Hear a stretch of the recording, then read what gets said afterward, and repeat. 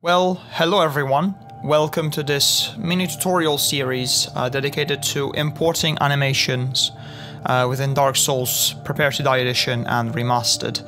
This small series of tutorials will cover the process from start to finish, and it is dedicated to enemies as I believe that the process for importing custom animations to players has already been achieved in the past or showcased in the past but I'm pretty positive that nobody has done a tutorial series for enemies, nor if this has been achieved in the past by anyone else. In this first little episode, we'll be covering uh, data extraction as well as getting the assets ready for animation.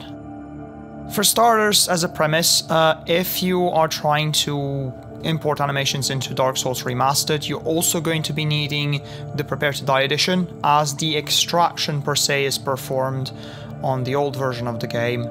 Any tool that I'll be mentioning during these tutorials will have a link in the description pointing to that tool and its documentation, so that if you're ever curious about it, uh, you can just go and have a look at it in your spare time and come back here with uh, increased knowledge.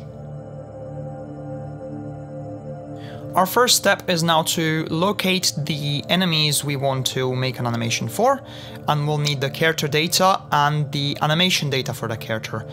So my goal for this mini-series is to create a custom animation for the Asylum Demon, which is the first boss, and its ID is 2232. However, we're going to be using 2230 as there's a problem with the skeleton data exported from 2232 and 2231 has the same exact data but in a correct placement. Uh, so in this case, what we need is character DNB and anim DNB files, which I'll decompress with Yabber. And once that's done, we should be able to start uh, meddling with these files. So to start off, we're going to open the character DNB files, which should be decompressed, and copy all the content of said folder somewhere. In this case, I've chosen a specific folder for this into one of my drives. And here we go, we'll copy it. Altera copy seems to have glitched there. Uh, yep, then after that, we're gonna need something else from the animation files, reason why we've decompressed it, and it's this specific skeleton file. Whoops, sorry for that, let me just close it. Um, skeleton file, which we're gonna go ahead, copy into the same folder, and there we go. We could potentially open the asset as it is right now with Noesis, but we need to do another thing before doing that because otherwise uh, Noesis won't be able to read the skeleton file. Um, you can see me go ahead and open it. Uh, by the way, Noesis, we need a specific version for that one, which contains some plugins made by the Dark Souls community to be able to read FLVER formats. So what we're going to do now is convert a skeleton with this specific script which converts it into a readable format for Noesis. And I'm just gonna go ahead and copy it in the same folder where we've placed all our other assets. So dragging and dropping the file onto the script doesn't work. In some cases it does, but for this script it seems like it doesn't. So we'll need to do it a different way. Uh, we're gonna need to open this with a command prompt and type in a specific command. Now you can see me just here copying the application name to get the help, and the command that we're going to run is convert. And in this case, we're going to type in name of the file, convert, uh, skeleton dot whatever file format this has. And here you can see me mistyping this because I suck at typing.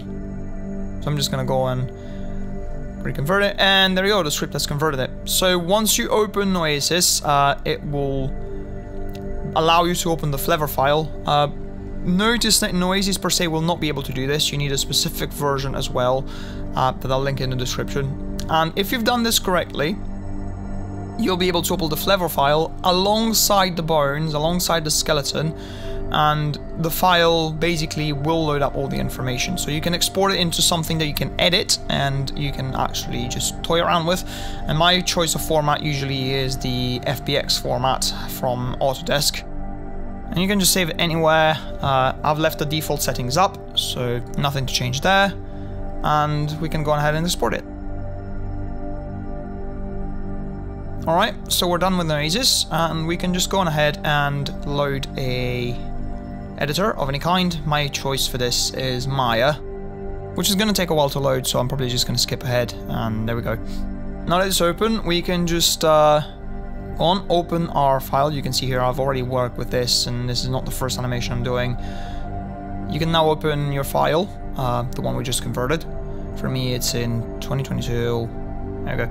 Uh, animation tutorial, and there it is, the FBX file. Import it, and should be good to go. Uh, in theory, you could animate straight from this, but there are two things that we need to check out. First, is the rigging working? Uh, well, this bone controls everything, so that's not helpful. And yeah, there we go. Whee! There it is. It does. So, we are technically ready to animate, and the reason why I say technically is because there are two things that we ought to still do. Um, First one is we are going to need to scale the root bone up by 2 point, I think 255%. And the reason is on import, when you re-import the animation back, the model size is going to be scaled down by a lot. And I'm not sure exactly why, but I suspect the script conversions have something to do with this. Uh, not sure if these are going to be fixed, but we're just going to scale it up and animate with this scale up, and this should fix the problem from the start.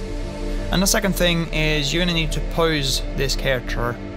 Usually I would do this by copying the uh, starting frame of the idle animation. Uh, sadly I do not know how to extract data from the already existing animation. That would be a lot easier if you could just copy the reference pose and bring it in, but I do not know how to do that sadly. So I'm just going to hand pose this and showcase what I mean by that. I'm just going to open uh, Anim Studio made by Meowmaritus uh, and showcase what animation I'm talking about. And there it is. This is, by the way, the thing you're seeing here on screen is a custom tool made by Hoodie, uh, Nameless Hoodie, who's done this lovely suite called ToolName that collects every single major modding tool. And here it is. Let me just open it. And scale it up to size so you can see. Uh, but basically that pose is what we're going to need to copy to make sure that the animation interpolates from idle to whatever you want the character to do. Thank you for watching and I'll see you in the next part.